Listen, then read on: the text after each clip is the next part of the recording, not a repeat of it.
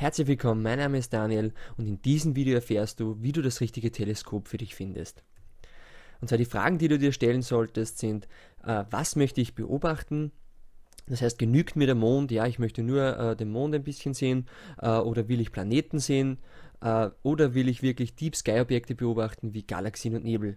Denn nicht jedes Teleskop ist für jeden Bereich geeignet. Und du solltest dich fragen, will ich Astrofotografie äh, betreiben, ja oder nein? Äh, hier gleich eine kleine Anmerkung. Astrofotografie ist gerade für Anfänger äh, eher schwierig, da es sehr viel Geld kostet, also die Ausrüstung ist sehr teuer und du benötigst gerade im Deep Sky Bereich viel Erfahrung. Ähm, was allerdings möglich ist, sind Fotos von Mond und Planeten. Ich werde dir am Schluss noch der, äh, des Videos wirst du noch sehen, was alles äh, mit einem einfacheren Teleskop bereits möglich ist. Das nächste, worauf du achten sollst im, im groben Überblick, sind die Öffnung des Teleskops, das Öffnungsverhältnis, das Stativ, den Montierungstyp, die Qualität der Optik und natürlich das Zubehör. Schauen wir uns das Ganze einmal ein bisschen genauer an. Ähm, was gilt es jetzt genau beim Stativ und bei der Montierung zu beachten?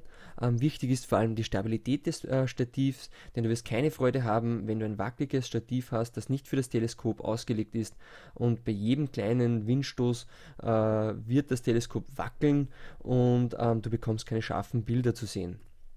Wichtig ist ebenso, was oft unterschätzt wird, Transport, äh, wie transportabel ist das Tele äh, die Montierung und eben auch das Teleskop. Ähm, wenn du gerade zu Fuß äh, unterwegs bist oder, oder ein kleines Auto hast, äh, wirst du mit einem riesen Teleskop, mit einem riesigen Stativ oder irgendeinem sperrigen Ding keine Freude haben. Ähm, und es ist oft so, dass du dass ein kleines Teleskop schnappst du dir und bist, äh, gehst schnell raus und beobachtest eine halbe Stunde, Stunde und bist dann wieder drinnen. Ähm, wichtig ist eben auch der rasche Aufbau. Ähm, es sollte möglichst einfach aufzubauen sein, denn wenn du erst mit Schraubenschlüssel und Schraubenzieher andrücken musst, dann wirst du bei, im, gerade im Winter bei minus 5 Grad vielleicht keine wirkliche Lust dazu haben. Und ganz wichtig ist der Montierungstyp. Ähm, soll es azimutal oder parallaktisch sein? Wie genau das im Detail funktioniert, erfährst du auf teleskopkite.net. Ähm, allerdings muss ich sagen, äh, azimutale Montierung ist gerade für Anfänger sehr, sehr beliebt oder sehr, sehr gut zu bedienen, da es einfach wie ein Fotostativ funktioniert, das heißt hinstellen und beobachten. Bei Parallaktisch, bei der parallaktischen Montierung muss eben erst ähm, das Ganze auf den Nordstern, auf den Polarstern ausgerichtet werden und ähm, erfordert eben schon ein bisschen mehr Erfahrung. Und wie gesagt, wieder, will ich Astrofotografie betreiben, ja oder nein? Denn ähm, Planeten und der Mond sind bei azimutaler Montierung auf jeden Fall möglich. Allerdings Nebel und Galaxien sind die Verschlusszeiten oder die Belichtungszeiten sehr, sehr lange und ähm, hier äh, brauchst du eine parallaktische Montierung. Schauen wir uns an, was bei der Optik zu beachten ist. Und zwar das Wichtigste ist der Durchmesser der Optik. Ähm, denn je größer der Durchmesser der Optik ist, desto mehr kann das Teleskop an Licht sammeln und desto äh, schärfere, detailreichere Bilder wirst du sehen. Ebenso ist zu beachten das Öffnungsverhältnis. Ähm, das Öffnungsverhältnis ist, äh, wie der Name schon sagt, das Verhältnis zwischen Durchmesser und der Brennweite. Ähm, äh, und, zwar, und zwar sagen dir diese F-Nummern, ähm, wie groß dein Gesichtsfeld ist, eben eine große F-Nummer wie F10 ist ein kleines Gesichtsfeld, dafür bekommst du höhere Vergrößerungen. Ja, das ist gut für, Teles äh, für, für Planeten zum Beispiel oder für bei kleineren ähm, F-Nummern äh, erhältst du ein großes Gesichtsfeld, das eben gerade für Galaxien und Nebel äh, gut ist, dass du dadurch sie in, in ihrer ganzen Ausprägung sozusagen sehen kannst. Wichtig ist, was du dir noch fragen solltest, möchte ich ein Spiegelteleskop oder ein Linsenteleskop? Die Vorteile des Spiegelteleskops sind ganz klar, es hat keine Farbfehler, da Spiegel statt Linsen verwendet werden. Ähm, du bekommst auch für, ähm, mehr, äh, für wenig Geld viel Öffnung, da eben diese Linsen sehr teuer sind.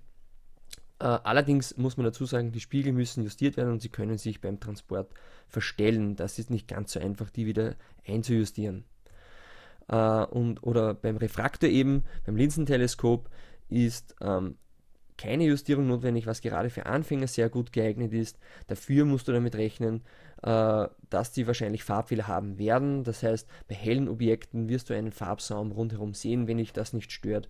Ähm, ist der, der, Refraktor auf jeden Fall sehr, sehr pflegeleicht und sehr einfach äh, handzuhaben. Schauen wir, kommen nun mal zum äh, Zubehör und zwar hier ist wichtig der Lieferumfang. Was ist alles dabei? Was benötigst du sonst noch? Äh, hier ganz genau durchlesen, was eben äh, mitgeliefert wird und vor allem, wie gut ist die Qualität. Ähm, ich kann dir gleich vorneweg sagen, plane zusätzliches Budget für äh, Okulare mit ein, denn die sind bei, bei fast allen Teleskopen wirklich nicht, nicht gut äh, und auch nicht wirklich geeignet. Du wirst gar nicht glauben, was du mit ein, ein, einem guten Okular noch aus deinem Teleskop herausholen kannst. Hier noch einmal kurz zusammengefasst eine Checkliste für dich.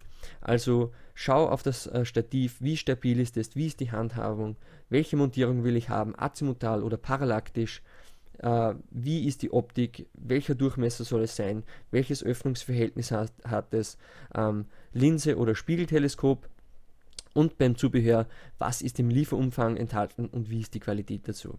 Wie versprochen siehst du hier äh, ein paar Bilder von Jupiter und Saturn aufgenommen von meiner Balkonsternwarte in der Großstadt.